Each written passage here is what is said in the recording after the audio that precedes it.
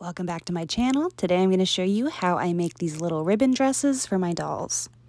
What you'll need is some cotton fabric and some ribbons, as well as a sewing machine and of course some thread.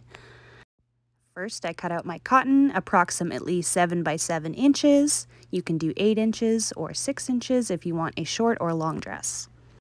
The ribbons that I am using are 3 eighths of an inch. They are a really nice size for the dolls and you can buy them in 10 yard spools like this from Michaels, or I also got these ones from Fabricland.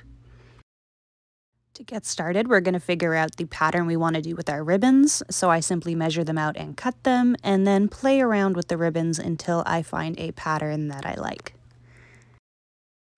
Once you're happy with your pattern, then we can get started with sewing. Now I'm going to sew the top edge and the bottom edge to add hems, and just fold it over a little bit, like 3 eighths of an inch, or however little that you can do on your sewing machine. And next we're going to prep our ribbons. So I am just using a regular glue stick here, laying out my pattern, and then I'm going to glue the back of the ribbon and then press it onto the cotton. You can also apply some of the glue onto the cotton directly and glue both sides, that way it'll stick really well, but it's up to you. Now I'm going to do a zigzag stitch on my sewing machine. I'm going to turn the length down as well as turn the width down a little bit as well. This way we'll get a small zigzag that'll look proportionate with these ribbons. And go ahead and start zigzagging and you can see how it's starting to look. They're super cute. Instead of cutting my thread at the end, I like to pivot. So I just simply put the needle down, lift up the foot, and then pivot my way down and over like so, and then I can do each ribbon. Make sure to do this on the edge so it doesn't peek through when we sew everything up.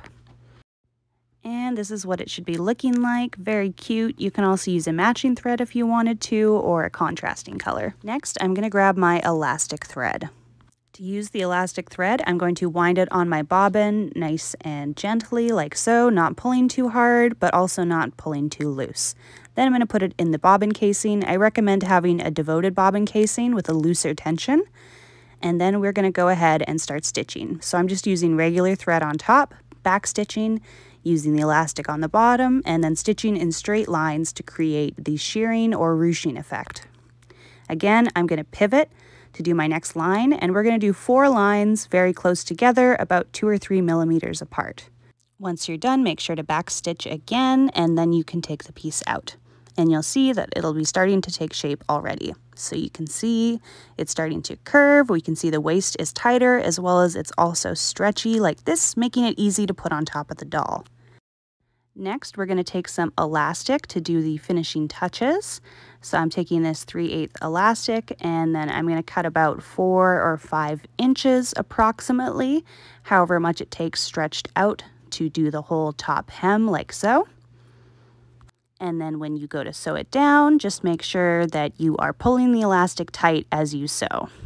This way it is going to give you a stretchy effect similar to the shirring in the middle. I forgot to film the sewing, so here is it is all done like so. You can see even more stretchy and even more gathered, like so. Now you can see the shape has come together, so all we have to do now is sew the dress up. This is our last step, so we're just going to line everything up and we're going to sew the waist as well as down the skirt. I recommend starting from the bottom to make sure that your ribbons are lined up, just like so and then start at the bottom and sew all the way up, making sure to come in at the waist. I'll show you here in a second on the sewing machine. Starting at the bottom, close to the edge, make sure to backstitch, sew all the way up like so. Once you've gone past the ribbons, you can start to curve your way inward toward the waist. And you'll see, you'll go over the elastics and then over the elastic at the top, like so. Then once you're done, you can trim off all the excess and try it on your doll. Make sure that it is fitting properly, not too tight and not too loose. And ta-da, here it is, all done. I really hope you guys like this video. I'd love to see what you create. Tag me if you do. And as always, have a beautiful day.